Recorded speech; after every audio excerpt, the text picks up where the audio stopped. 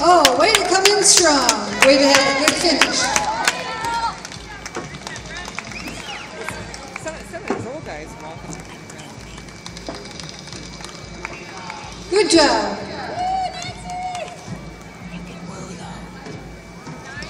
Here we go, Mom.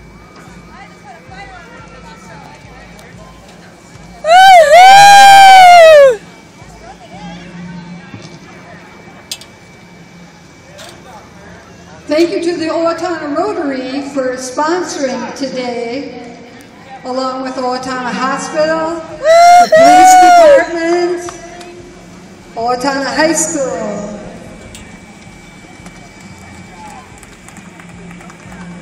Kara Johnson, way to finish.